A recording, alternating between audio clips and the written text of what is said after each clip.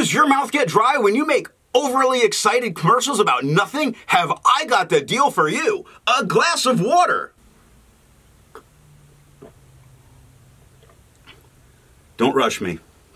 It's, it's only going to take longer then.